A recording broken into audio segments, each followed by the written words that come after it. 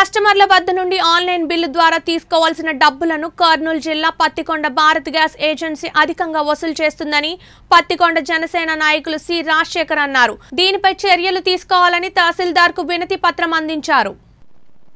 Bharat gas agency కస్టమర్ల నుండి అధికంగా డబ్బులు వసూలు చేస్తుందని ఇదేమిటని ప్రశ్నించిన కస్టమర్లకు గ్యాస్ డెలివరీ సరిగ్గా ఇవ్వడం లేదని అన్నారు. ఈ విషయంపై జిల్లా ఉన్నతాధికారులు అధిక వసూలు చేయరాదని తెలియజేసిన ఏజెన్సీ వారు మాత్రం నియమాలు గాలికి వదిలేసి అలాగే వసూలు చేస్తున్నారని మండిపడ్డారు. ఒక గ్యాస్ సిలిండర్ పై అత్యధికంగా ముప్పై రూపాయల నుండి యాభై రూపాయల వరకు వసూలు చేస్తున్నారని కావున ఈ విషయంపై భారత్ గ్యాస్ ఏజెన్సీ యందు విచారణ చేసి అక్రమ వసూళ్ళను అరికట్టాలని ఎంఆర్ఓకి వినతి పత్రం అందజేశారు.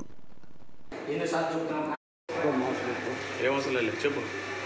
పత్తికొండ నియోజకవర్గంలో ముఖ్యంగా మా పత్తికొండ టౌన్లో భారత్ గ్యాస్కి సంబంధించి ఒక సిలిండర్పై అత్యధికంగా ముప్పై రూపాయల నుంచి యాభై రూపాయలు వసూలు చేయడం జరుగుతుంది. వీటిపై ఎన్నిసార్లు మేము రిక్వెస్ట్ చేసినా కానీ వాళ్ళు వినుకోకున్నట్ల యథావిధి మదావిధి కనుక అదే పాటించడం చాలా దురదృష్టకరం. అదే విషయంపై ఈరోజు ఎంఆర్ఓ గారు కూడా మేము కంప్లైంట్ ఇవ్వడం జరిగింది.